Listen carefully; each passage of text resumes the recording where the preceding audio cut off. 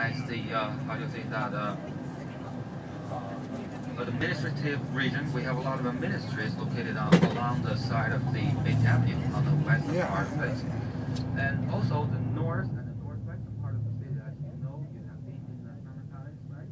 That was in the northwestern part of the city on the foot of the western mountain. It drives very good gear and feng shui, but all the way down